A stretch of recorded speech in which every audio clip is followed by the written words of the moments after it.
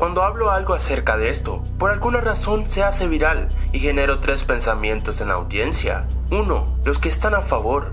Dos, los que están en contra. Y tres, los que expresan sus opiniones. Las tres son aceptadas, así que dejemos de hablar y mira lo siguiente.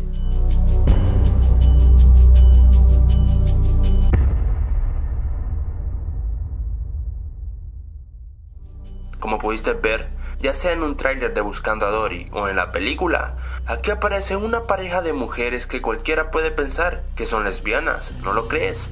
Pues eso pensé yo, y es que la mayoría lo cree porque se ve aquí que ellas están juntas, con lo que podríamos decir su hija cuidándola. Sí, aunque no lo crea, las lesbianas pueden tener hijas por medio de adopción, inseminación, etc.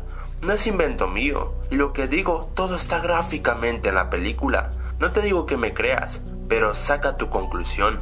Pues esto en las redes sociales conmovió mucho, ya que los amantes de Pixar daban esto como la primera pareja de lesbianas en el mundo de Pixar.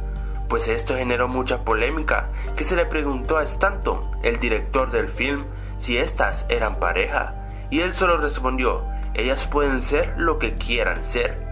Sí, al oírlo confunde a muchos, y con esta respuesta, este rumor tomó más auge a la posible primera pareja gay en el mundo de Pixar.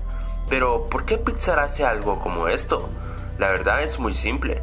Desde hace años, los Estados Unidos están luchando por los derechos de los gays, y en estos días este tema es muy popular, y por eso Pixar lo puso en son de broma, y también para aquellas personas quienes son muy observadoras.